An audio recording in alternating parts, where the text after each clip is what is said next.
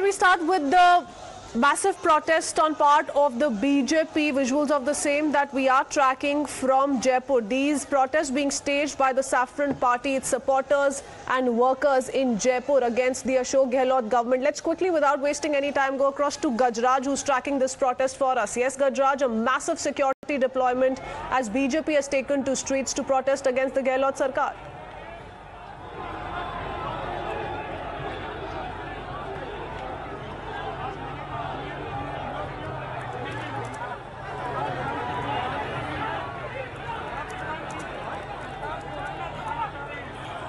You can see yeah.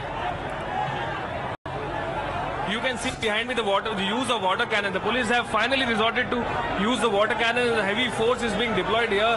They the bjp karyakartas in the number of tens and thousands they are being pushed out of this particular venue. There is three layer security that has been put up right now.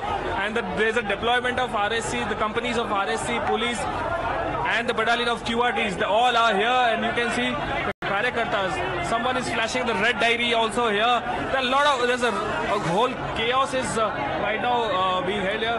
क्या बोलेंगे sir ये गहलोत सरकार ने आज युवाओं के ऊपर अत्याचार किया है महिलाओं के ऊपर अत्याचार किया है किसानों के ऊपर अत्याचार किया है अब ये जनता इनको बता देगी कि अब जो ये महीने बचे हैं इनके ये अंतिम दौर में चल रही है सरकार और इस तरह की का का प्रदर्शन आप देख सकते हैं। वाटर कैनन के साथ में ये लोग युवाओं के ऊपर, महिलाओं के ऊपर अत्याचार कर रहे हैं। You can see behind me there deputy leader of opposition Satish Poonia who is being push and you know taken out of the particular venue the members of BJP also have also set on the roads right now here the water cannons are being regularly used from last 15 minutes right now here and huge number all the roads, all the highways in Jaipur are uh, you know packed and jammed by these karyakartas right now here and the the, uh, the law and order situation. The police is trying to you know handle the law and order situation right now. You can see Kunwar Rashtradeep standing right here who is handling the law and order situation right now at the spot at this particular venue right now.